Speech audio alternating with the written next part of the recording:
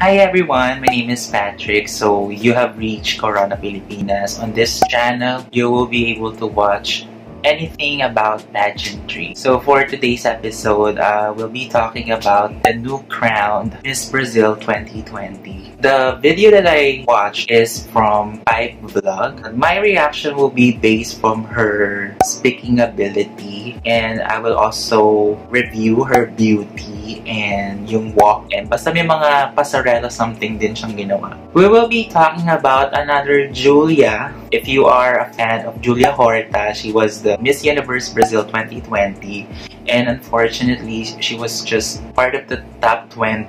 I remember last year na sobrang hype na hype si Julia Horta pero nagulat ang lahat na hindi siya nakapasok sa top 10. Same with ours, si Gazini hindi rin siya nakapasok sa top 10.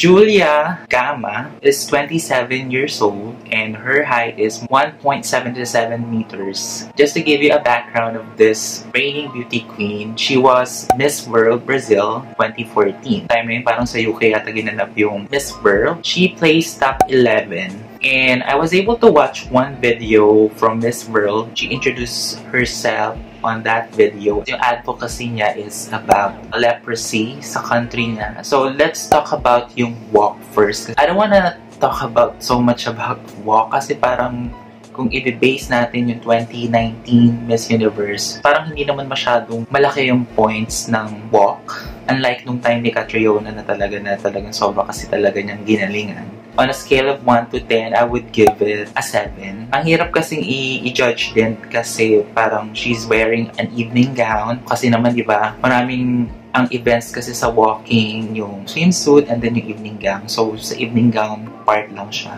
I would say she's very sweet looking. I'm not seeing any fierceness so far dun sa evening gown niya nung naglakad siya. Pero, of course, masyado pang maaga. I'm sure that will evolve. You know naman yung mga Latin terms of pasarela, they're really great with that.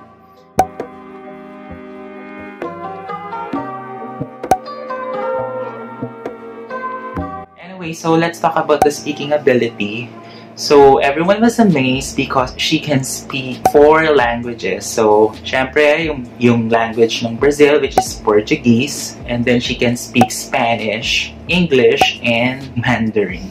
On every language, parang meron siyang iba-ibang topic na pinag-usapan. And I tried my best to translate some of it and using some context clues. So for the first speech, it is in Portuguese. So she talks about First, she thanked the people of Brazil and her family, lahat ng mga sumusuporta sa kanya. So she is just appreciating everyone who supported her.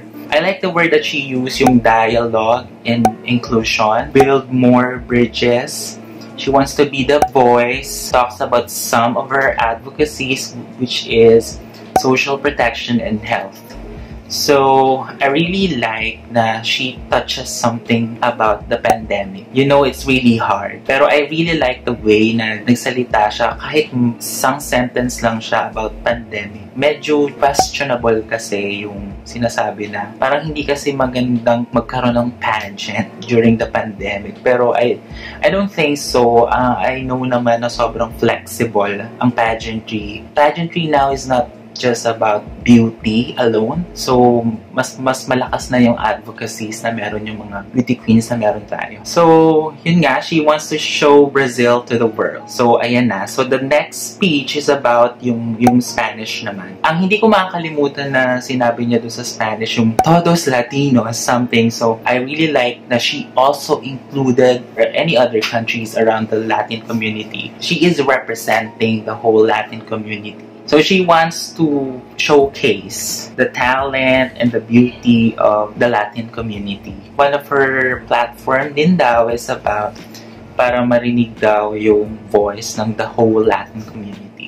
Kung babalikan natin do sa first speech niya na which is in Portuguese, she said the word inclusion. The the meaning of her what do you call this? Her speech is all about inclusivity again. And once again, inclusivity is very big, especially sa Miss Universe. Miss Universe wants to include all the races, all body shapes, And also, as you know, si Angela Ponce, the, the first transgender female who joined Miss Universe. The third speech is in English. I like what she said na if ever she will be the new Miss Universe, she will not just focus on her own career development. Uh, she said that I want it to be a year of service. She wants to be the spokesperson. I like the words na ginamit niya like respect, tolerance, understanding, empathy. So once again, just like do sa first episode natin about Emmy Sawyer, yung word na tolerance, that's really important kasi nga, as a beauty queen, of course, you should be the voice, you, you, you are the spokesperson, and also, you should unite. Just like what I said sa unang episode ko, link down below yung first episode. So, she also said yung dreams shine their light to the world. So, and then the last, yung last na speech niya is in Chinese. She's just appreciating or uh, thanking the Chinese people. So, my final verdict is if she is ready for the Miss Universe, uh, for Miss Universe of course, and no national director will send any girl na hindi ready para sa Miss Universe. So, so far, you know naman kung gaano kalakas ang mga, ang mga Latina in terms of beauty pageant. And just like what I said, she already competed in Miss World 2014. So, syempre, just like Catriona, alam na alam niya na yung kalakaran sa pageantry. Tapos, marunong pa siya magsalita ng four languages. Just in case, parang kung magpunta siya sa China, syempre, you know naman how big the population of China. So, they, they're billion population sila. So, in terms of marketing, maganda siyang business para sa MUO. And also, for the Latin community, so if she knows how to speak Spanish, pero ang alam ko kasi most of Brazilian knows how to speak Spanish. And you know naman, syempre, English, it's really the international language. Okay, so in terms of public speaking, she knows how.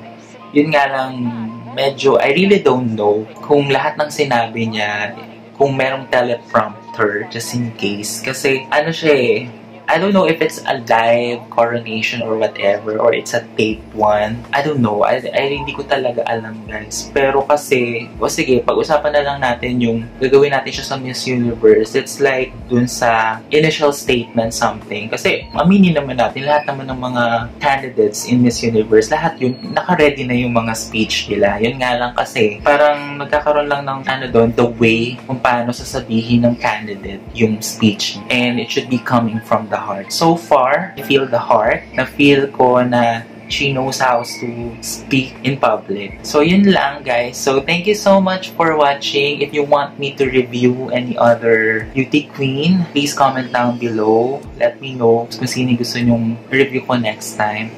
And I'm also thinking of, uh, syempre, since Corona Pilipinas yung name ng channel ko, maganda rin naman mag-review ako about Miss Universe Philippines and Binibining Pilipinas 2020. Really excited to make a reaction video or a review about our own candidates din, syempre.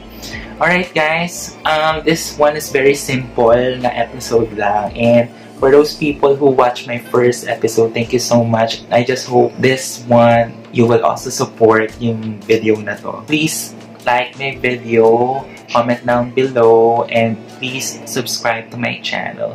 Thank you so much for watching. See you on my next video. Bye-bye.